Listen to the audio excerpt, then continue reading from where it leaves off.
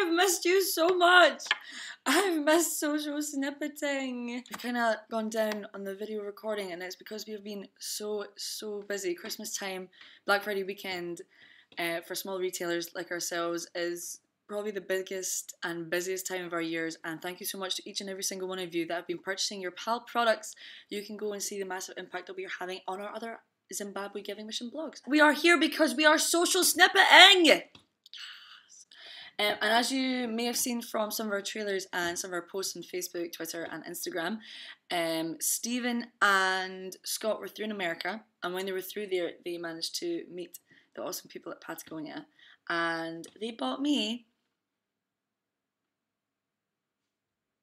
this frisbee.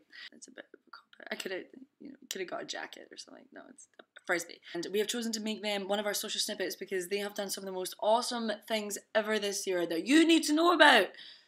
But before any of that, cue the music. Feeling good, feeling good, feeling that you pass on through. Through. Ayo.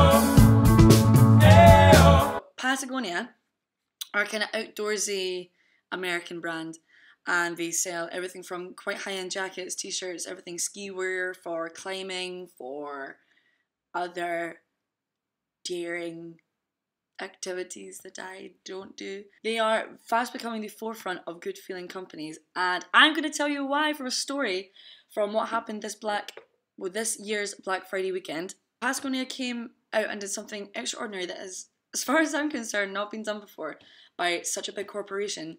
And they ensured that 100% of global retail and online Black Friday sales all went to grassroots organizations who are organizations on the front line ensuring that our water, our air, our soil, the whole environment is completely protected. Patagonia were expected to raise maybe 2 million in sales was their target.